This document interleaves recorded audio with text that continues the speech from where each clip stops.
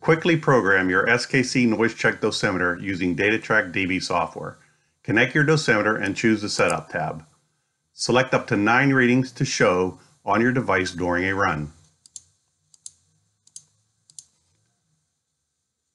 Also select up to seven readings to review on your dosimeter in history. Decide if you would like octave bands to be displayed and or logged.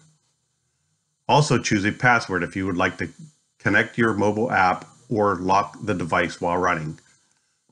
Finally choose which regulatory agency you wish to comply to using the drop-down menus. Select Save Setup to Device and you are ready for sampling.